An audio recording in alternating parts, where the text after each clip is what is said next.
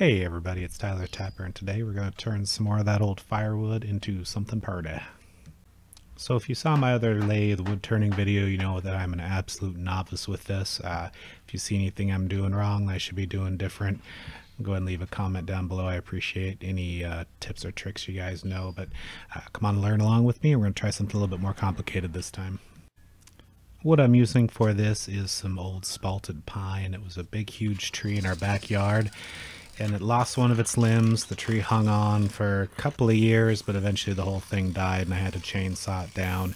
These are all little pieces that I just chopped up and thrown in a pile and they'd been sitting out for around a year just getting weathered. As a result, this wood is not very structurally stable and has some pithy parts. That thing would have thwacked me right in the face if I didn't have a uh, face shield on, so I'm glad I had gotten one of those for this project. Um, no harm done, but scared the crap out of me. After that popped off on me, I went back to get this down to round. I'm going through and just basically getting it so it's a perfect cylinder. That way I can work with it a little bit easier. I'm not turning any air and I can start laying out my pattern. I have a general idea what I want to do with this and how I want to shape it and what these lines are doing just giving me some reference on where I want to start cutting things into it.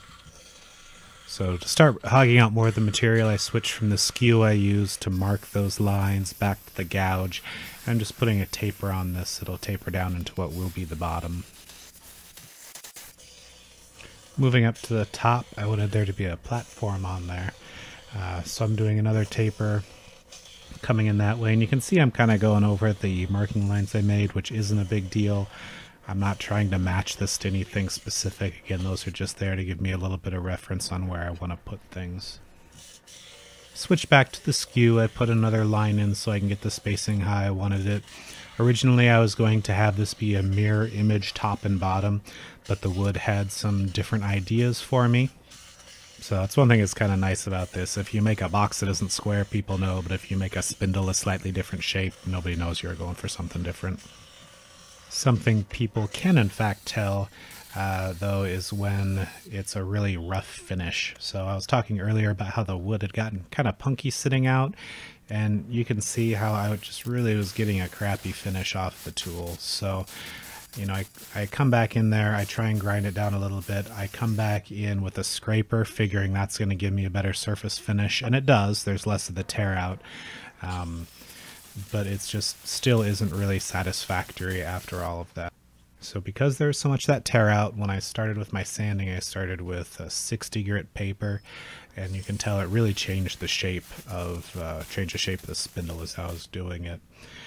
But it did make the surface finish really smooth and prevented the tear out. So I don't know if it's, again, just that really soft wood, if my tools aren't sharp enough or what's going on with it, but the sanding paper did seem to make it acceptable.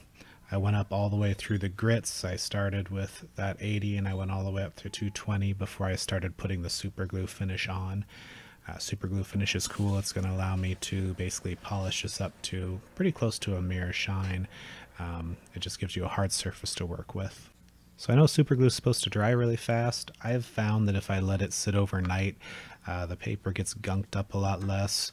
Uh, I just seem to have better luck with it. So what I'm using there is some orange oil and beeswax. I'm using that basically to lubricate the sandpaper. I'm going up 320 and I stop at 800 grit. This uh, 800 grit that's on a cloth sanding back pad thing works really well. Uh, it seems to really polish it up nicely. With this particular one, I didn't go any higher than 800. A lot of times they'll go 1000, 1200, but I honestly don't notice a whole lot of difference with it, so I think you can stop there and be fine. Specifically why I chose this piece of wood was because of where the branches were coming out of it, and I thought it would turn down pretty cool, so I'm glad I could see it that deep into the wood. At this point I had a spindle and I had to decide what to do with it. Uh, just kind of out of coincidence, the top was again the right, just the exact right size for a votive to fit inside there and still give me a little bit of a wall between it and the edge so I didn't think it would break the point right in the center makes a perfect pilot hole so you can get the Forstner bit just exactly in the center of the piece pretty easily. It's still pretty cool to me that you can take these pieces of wood that from the outside just look like logs, throw them on the lathe and get so much cool texture and grain out of them and all the different color variations in them from sitting out. Um, all the little branches that poke out that leave cool patterns in there. Try not to subject you guys to too many more of these candle holders. And I have some projects coming up with some different woods that are on the lathe too. Um, but it's just really good practice to be able to take that cheap wood and it's uh, you don't have to worry about messing anything up. You can just go to town on it. As always, I really appreciate you guys taking the time out of your day to watch my video.